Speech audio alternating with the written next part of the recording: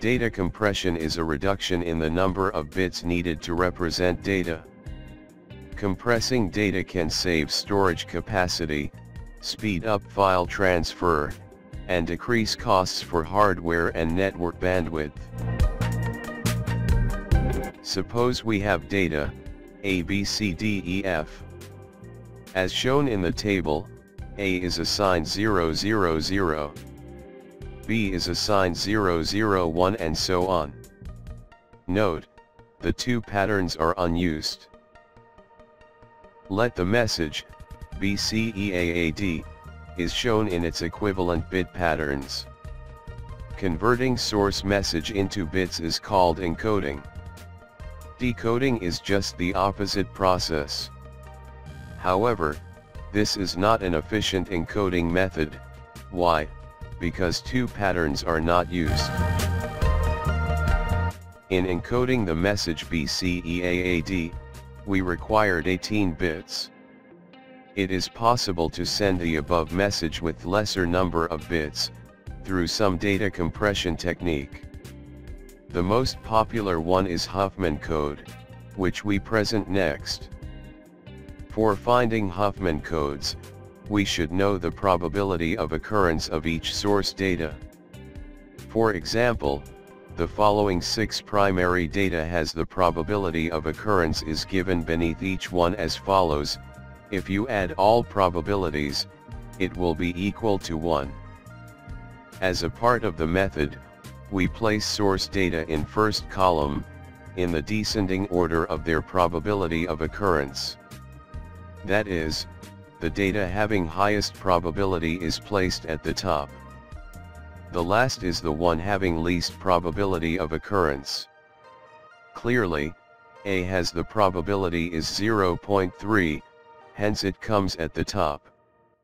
C, has 0.08, therefore it comes at the end.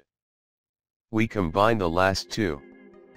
Here, B and C. If we add 2, its combined probability is 0.18. We then form a next column, again in the descending order of probabilities. In this way, we proceed till the end, till we are remained with just two groups of source data. Here we have AFD and BCE, are the two groups, finally obtained. Now we place the two groups on the top, assigning 0 to higher probability group and 1 to lesser probability group.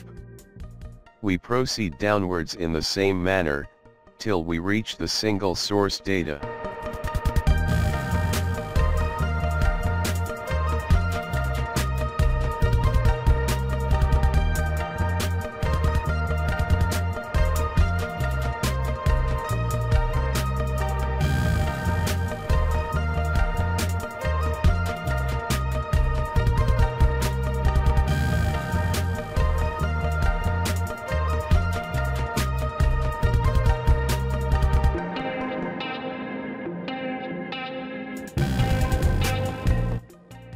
From the given binary tree, the codes for source data is obtained as follows, for A, 00, 0, for B, 110, for C, 111, for D, 011, for E, 10, for F, 010.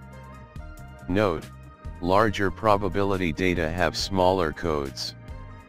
Now we have obtained the codes for all source data. Consider the message, FBEEEADCAA, after assigning the given codes, we get the binary stream as shown. Please see, the total number bits required to encode this message is 24. If the message would be encoded with 3 bits patterns as shown in the beginning of this video, it would have required 30 bits. This is called data compression. Instead of 30 bits, we have encoded the data in 24 bits. Hence, 20% data compression is obtained. For higher amount of data, we may get higher data compressions.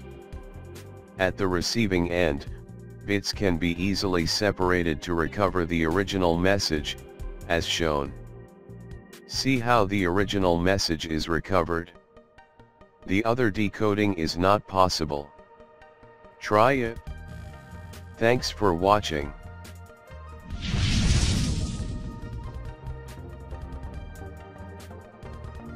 Make sure you like the video, subscribe to the channel and turn on the notification bell, so you never miss the update.